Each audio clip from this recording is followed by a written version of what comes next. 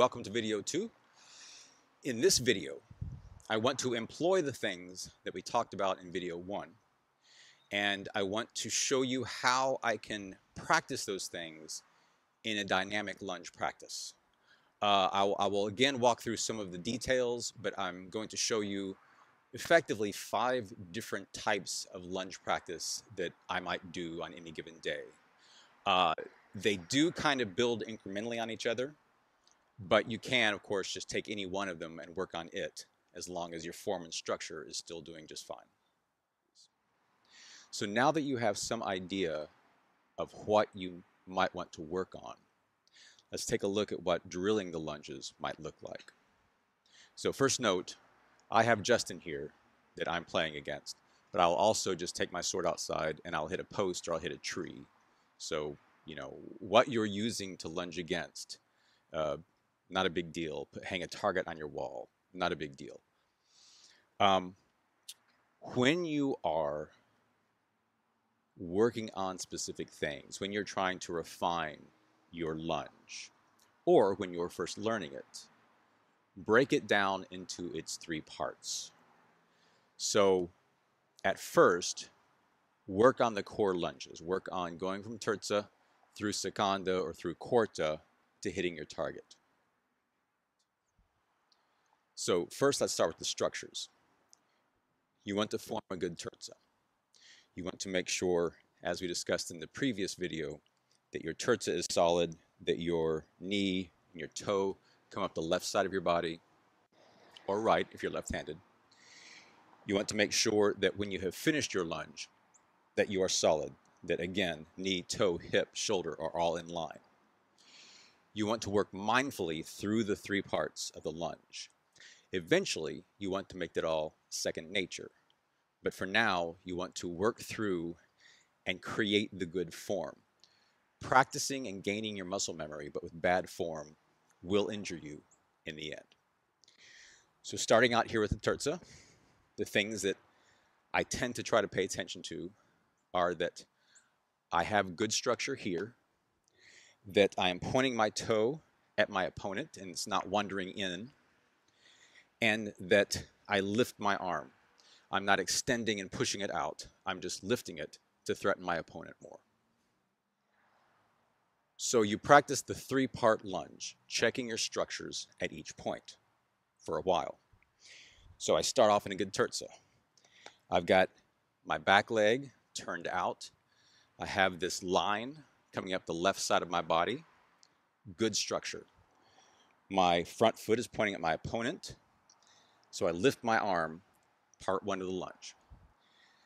Then the sword effectively pulls me forward, hinging at the hips.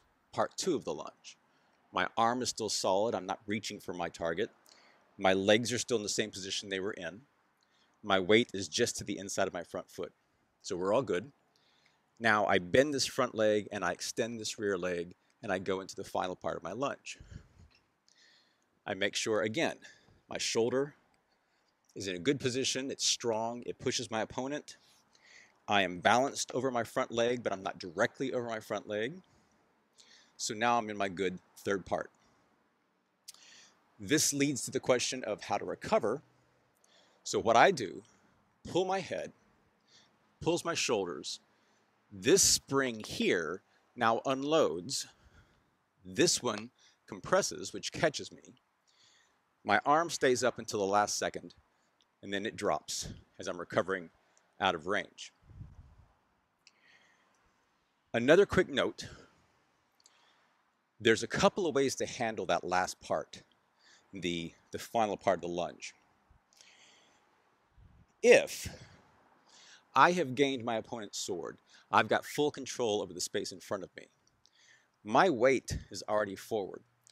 All I need to do at this point is just bend this front leg, effectively fall into the lunge, or even pick up my front foot and fall into the lunge. If I want a more dynamic, explosive attack, what I can then do is, as I move my weight over my front leg, I release this spring, which is under tension, while I'm back over it.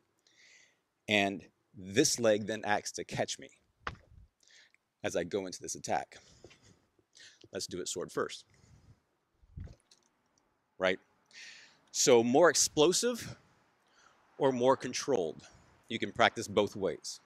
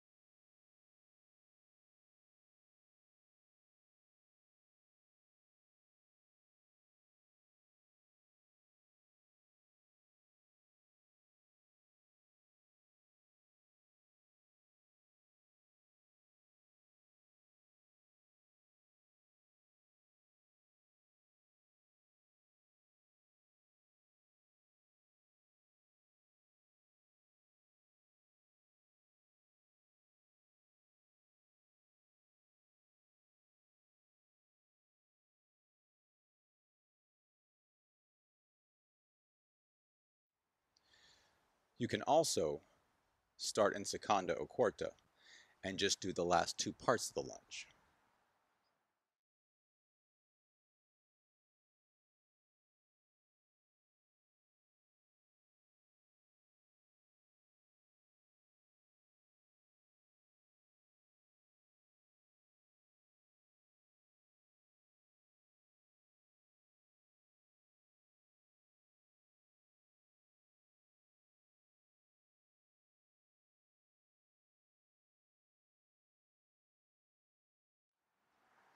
Another thing you can practice is just going from terza into quarta or from terza into seconda and then back again. So the first two parts of the lunge.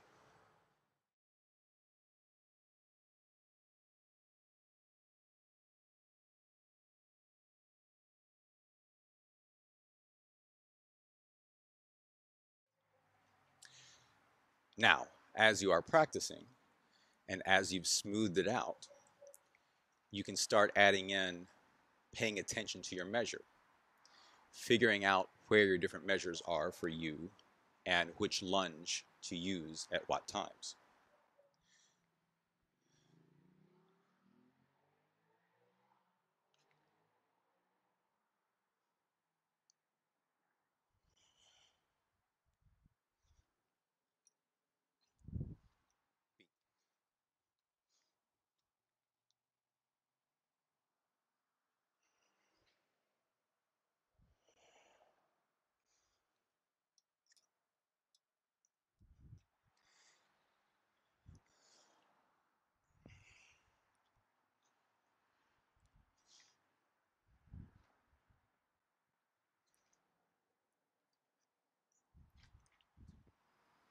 So now I have defined my three measures against Justin.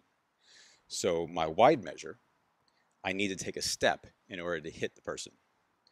My narrow measure, I, all I have to do is bend my front leg, but I do have to bend my front leg to get that reach to hit the person. Then my narrowest or close measure, all I have to do is change postures, It's basically just reach out, bend at the waist, hinge at the hips, to touch my opponent. So the three main measures, wide measure, narrow measure, and narrowest or close measure. So now you've smoothed out your lunge. You want to start playing with measure. So work in starting from out of measure. So my opponent out here cannot hit me. I cannot hit them even with a very long lunge.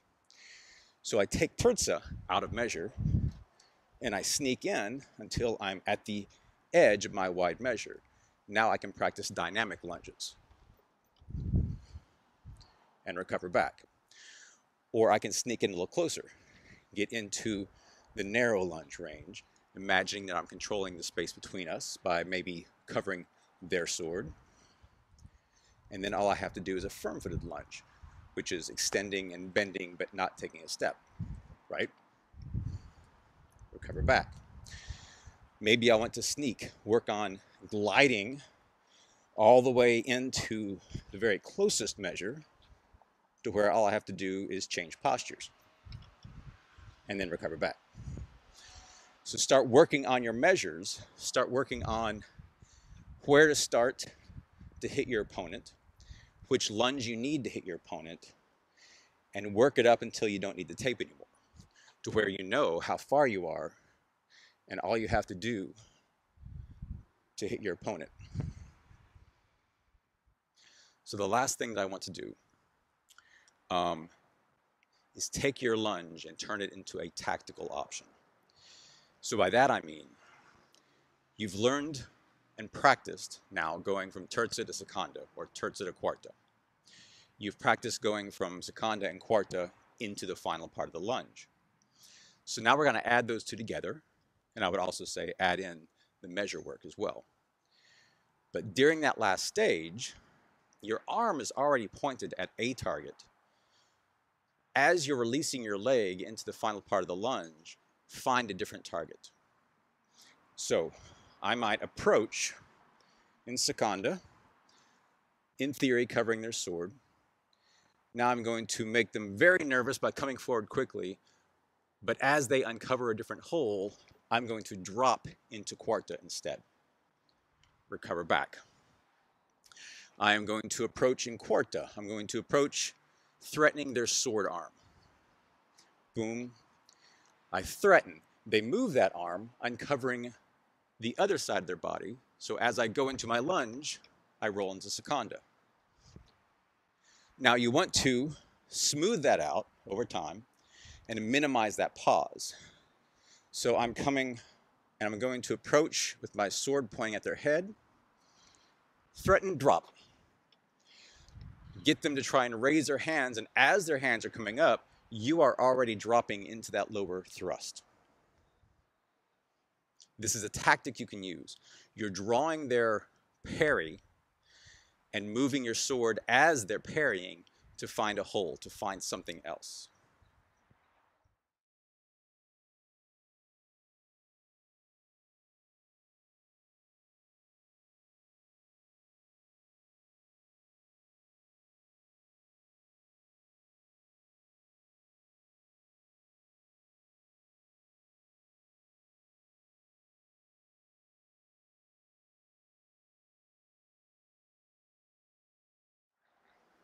All right, that is the end of this video.